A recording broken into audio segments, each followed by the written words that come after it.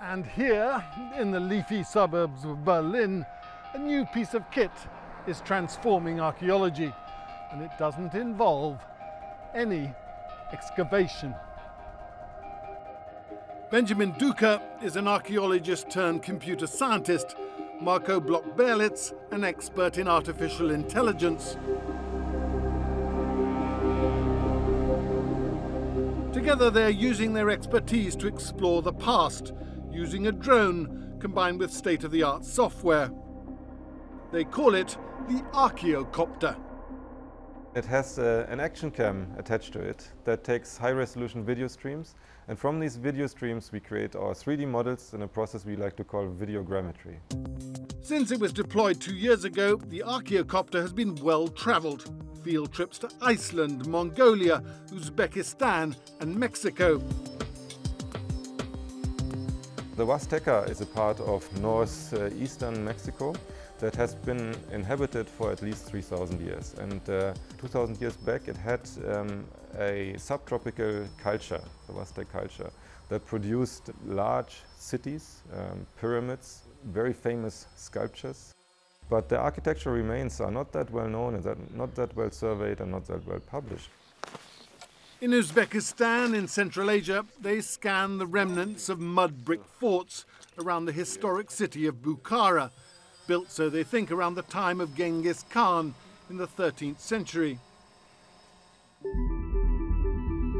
Here, in the gardens of the German Archaeological Institute, the challenge was relatively modest to scan, to capture a middle aged man on a bench.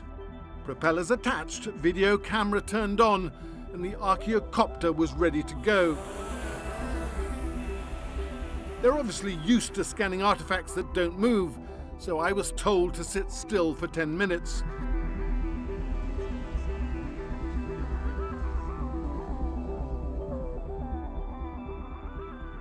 The specially designed software takes the video we recorded and selects the best images to recreate the 3D environment.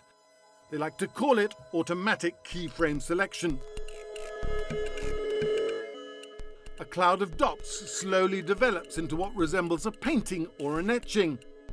And so here I was, me and my bench in glorious 3D. The technology has obvious commercial value, not least for architectural modelling and the gaming industry. But such is their commitment to archaeology, they are literally giving it away for free. Archaeologists have no money. Yeah. And so many monuments are being destroyed throughout the world. Yeah. This seems to be your gift back to the world. Yes, yes. With this key, everyone is able to preserve his culture and heritage when we see things, that's when we believe things, and that's when you know we allow ourselves to be impressed by our visual senses. And this is something that, of course, 3D models, um, digital computer images achieve, and it's a, it's something important, and it is uh, something that can move people. I like to feel this attachment to the past because I think only if you have a past, then you can also have a future.